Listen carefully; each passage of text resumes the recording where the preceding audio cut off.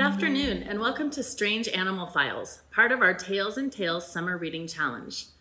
I'm Jennifer from the South Valleys Library, and I would like to tell you a little bit about an animal whose scientific name is Chlamyphorus truncatus, but is also known as the pink fairy armadillo.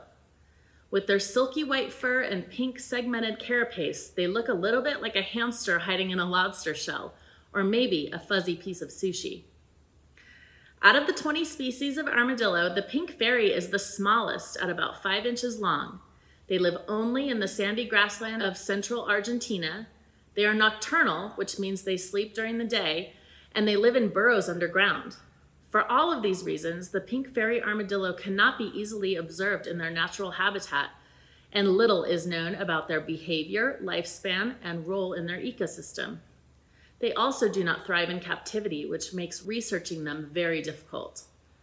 The reason this armadillo shell is pink in color is because it is filled with blood vessels that they use to regulate their body temperature. If they are hot, they fill those vessels to cool off. If they are cold, they constrict the vessels to better retain heat. Pink fairy armadillos have large claws, relative to their size, that make them fast burrowers. They burrow so quickly that they appear to be swimming in the sand, according to the very few humans who have seen them in action. They also have a flat tractor-like bottom that they use to pack down loose earth behind them as they dig. They eat mostly plant matter and small insects that live underground where they burrow.